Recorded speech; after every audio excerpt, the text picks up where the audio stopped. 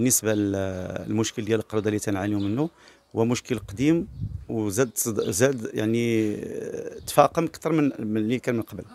يعني بالنسبة للقرض حاليا يعني كأنه مستعمر يعني استعمر تقريبا البلاد. بالنسبة للمزارع بالنسبة للأشجار المثمرة بالنسبة لممنوع الناس ما بقاوش يديروا البحير كيف ما كانوا يديروهم في البلايص اللي اللي يعني المجاورة للزاوية لدرجة أن القرودة حاليا ولاو أنهم تتلقاهم حتى في الديور. يعني راه ممكن تدخل تلقاه في الصالون جالس معاك مؤخرا يعني واحد السيدة هنايا كانت في دارها دخلات لقاتو راه في الصالون جالس. مسألة أخرى يعني هما أنا عندي الشجر ديال حب الملوك تقريبا خمس سنين وأنا تن يعني تنرعاهم وتنكبر فيهم وهذا ثلاث سنين هذه يعني من النهار اللي بداو تينضجوا يعني بداو تيعطيو الثمار ديالهم آه لحد الساعة مع حبة واحدة باقي ما تقتشيت من دوك الشجر. يعني وليت بحال وجدتي داك الشجر للقرودة. تتوصل الوقت تيجيو تيحيدوا داك الغلة كاملة المشماش قضاو عليه يعني تياكلوا ليه الورق قضاو عليه. وبالنسبة للسكينة راه يعني متضرب بواحد الشكل اللي هو كبير بزاف وترى تشكل حتى خط هاد القرود هادو ولاو تيشكلوا خطر لأن ما بقاوش بحال زي بحال تقول مثلا ولاو اندمجوا مع الإنسان ما بقاوش يخافوا حتى من الإنسان. وبالتالي هو خطر على الدراري الصغار خطر على الناس يعني المزارع ديالهم خطر على الساكنة كاملة بصفه عامة. وما كانش واحد هنا في الزاوية غادي تسولو وغادي يقول لك بأنه ما متضررش من هذا القروده يعني قال لك المثل الشيء إذا زاد عن حدين قلب إلى ضده هذا هو اللي تنف...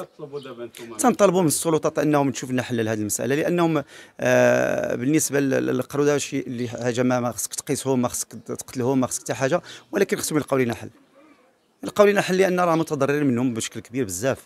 لا سواء في المزارع حتى في الديور الداليات الكرموس ما بقى حتى حاجة بقات يعني آه، تستفد منها السكينه شنو وقع للزاوية؟ حنا ما فهمناش. من من الجانب ديال ديال ما هو سياحي أنا مسيرة مأوى سياحي. الصديقة ديال محمد فتيحي وهشام فخيم والأصدقاء كاملين. كنا من قبل كنا خدامين. حنا مستفيدين من المبادرة الوطنية للتنمية البشرية الحمد لله. استفدنا من هذا القطاع وخدمنا وكبرنا به ولادنا وهذا الحمد لله. ولكن وقع واحد التغيير ما عرفناش منين جا. الزاوية ولات تخربقات. من ناحية البنية التحتية ما بقات لا بنية تحتية ولا والو.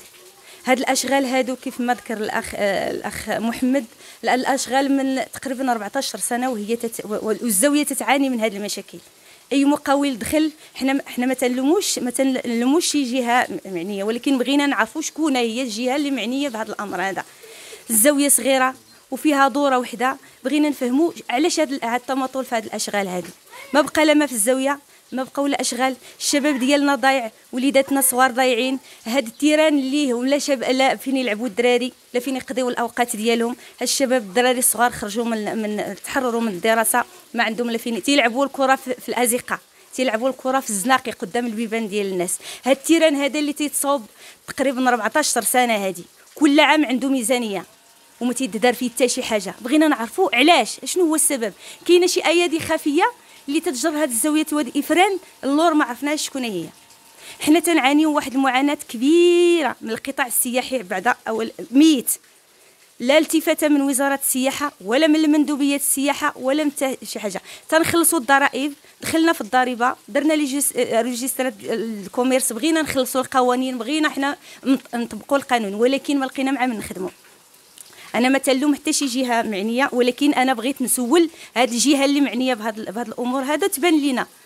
الزاوية هذه هاد الأشغال هادو اللي الازقه تصايبوا الدورة ديال الزاوية ديفران تيلقاو الناس فين المشكل اللي بغى يجي غير عندك الزنقة تيلقى مشكل. ما تيلقاوش الناس فين ن stationner آه، اللي جاب طوموبيلته ما تيعاودش يبغي يعاود يرجع مرة أخرى. الطوموبيلات تيتهرسوا لعباد الله. ما ما فهمنا والو. آه، هذا البيزورنو ولا الشركة ديال الأزبال ولا ما عرفناش مشاكل ديالها. تنهضروا مع الجماعات تقول لك الجماعة أنا عندي مشاكل في السيولة ما, ما عنديش باش نخلص باش نخلص الشركة ديال الأزبال. ولات الزاوية كلها أزبال. ما عرفناش المشكل فين كاين. القطاع السياحي ميت وميت لدرجات ما, تصورش بحالات لأن دابا حنا ولينا خدامين على راسنا كل واحد فينا نسحب من هذه المهنة هذه ما بقيناش بغينا كاع نخدموا السياحة وما عندناش شي حاجة أخرى اللي غادي نديرو.